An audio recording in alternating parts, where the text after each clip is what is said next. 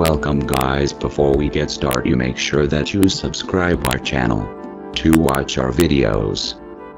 And don't forget to press the bell icon button to get first notification of our videos.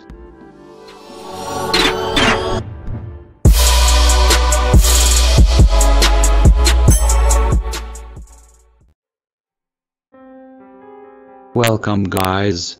In this video I'm gonna show simple trick to update your old Kali Linux OS to a new version of OS. And here I show you two type first one is shell script and second one is simple type command on terminal both work fine.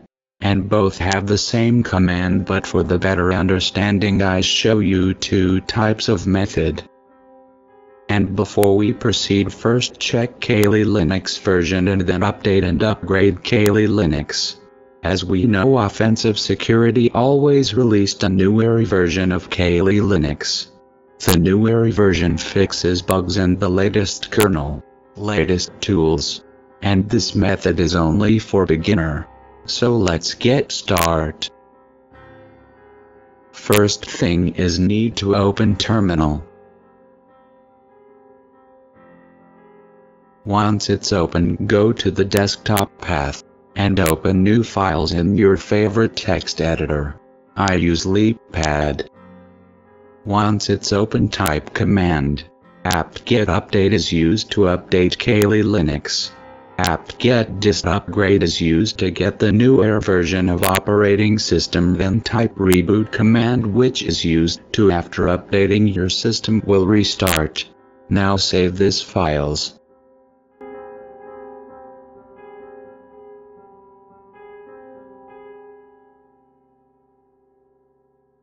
Now need to execute this script but this is not in the format to execute so type chmod plus x update.sh. Now it's ready to execute.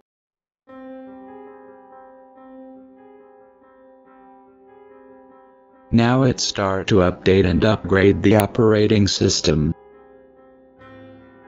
It's take time to update and upgrade. So let's see the next method which is very simple just you need to type this update and upgrade command on your terminal.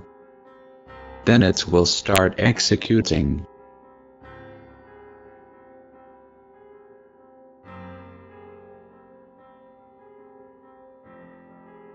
Hope you like this video and don't forget to subscribe our channel.